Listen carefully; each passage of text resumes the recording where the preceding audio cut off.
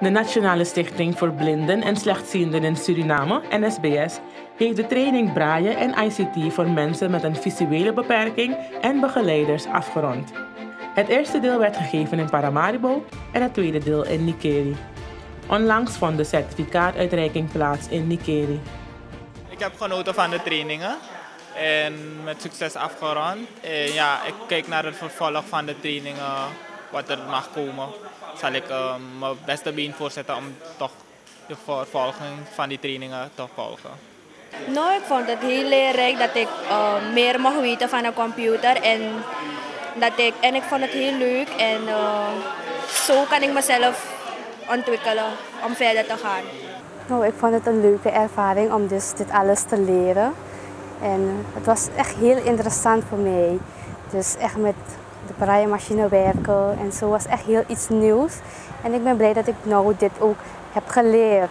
En dat, dat ik dit nu ook kan aanleren aan de mensen met een beperking.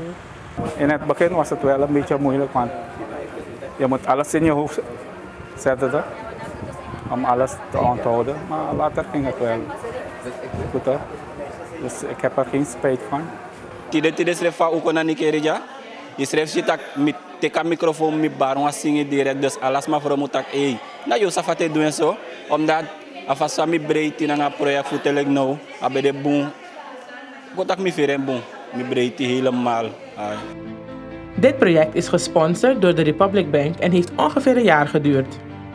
Nou, de meerwaarde van dit project is zeker dat de mensen de, de mogelijkheid hebben gehad om zichzelf te ontwikkelen.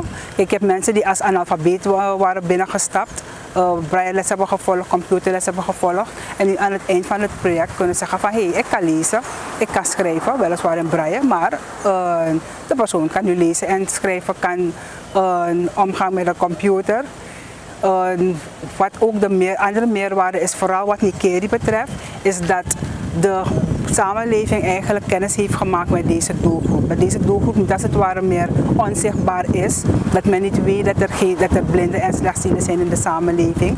Maar dat de mensen naar buiten hebben kunnen En we hopen dat uh, die groep die er nu is, dat ze verder zullen gaan om zichtbaar te blijven in de samenleving. Voor de cursisten is dit niet het eindpunt.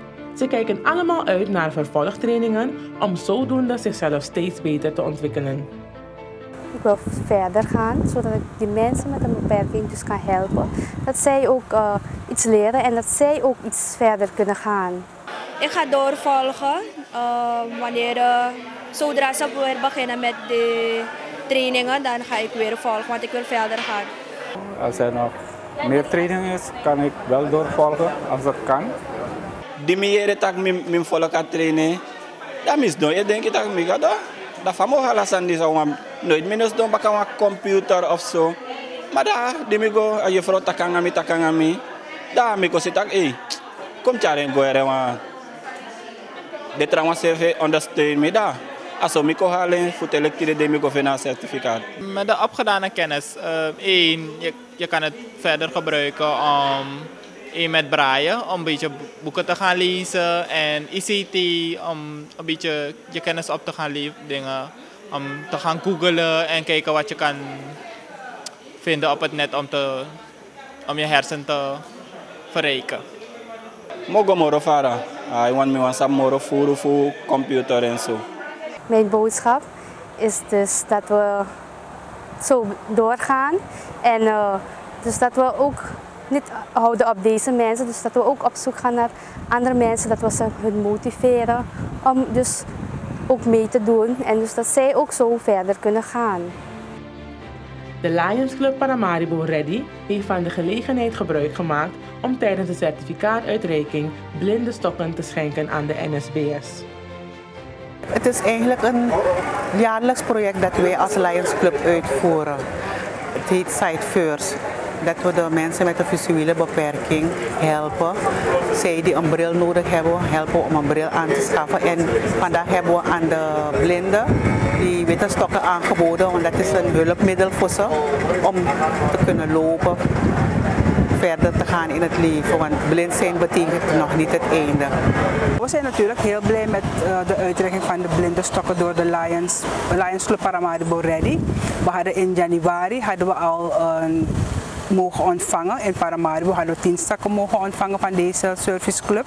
En omdat ze wisten dat we ook bezig zijn in Nigeria, hebben ze gezegd van nee, we gaan ook de Nigeriaanse uh, blinden en slechtzienden, willen we ook aan die groep willen we wat stokken overhandigen. Kijk, die stokken zijn niet te koop hier in Suriname. Die stokken zijn kostbaar. En uh, als er dus zulke stokken aangeboden worden door de serviceclub, ten behoeve van de doelgroep, dan is, is het helemaal meegenomen. De blindenstokken zijn geschonken door Lions Club Rotterdam West. Tot zover deze aflevering van Belicht. Tot de volgende keer.